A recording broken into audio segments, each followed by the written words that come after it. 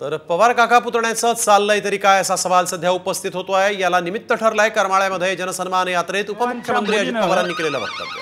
शरद पवार हे आमचे दैवत आहेत असं वक्तव्य अजित पवारांनी केलं. आम्ही चुकलो तर कान धरा असं विधानही अजित पवारांनी केलं. नुकतंच शरद पवारांनी आम्ही घरात एकच आहोत असं वक्तव्य केलं होतं. त्यामुळे पवार काका पुतण्याच्या वक्तव्याची सध्या जोरदार चर्चा होतीये.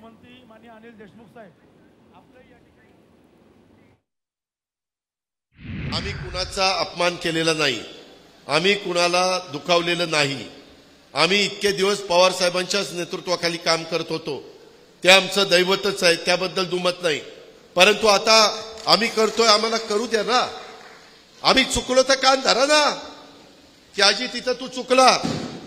परंतु आम्ही जर योग्य रस्त्याने चालत असलो आमच्या संजय मामाला पण आम्ही तीन तीन हजार कोटी रुपयाची कामं त्या ठिकाणी मंजूर करून देत असू. तर का करायचं नाही?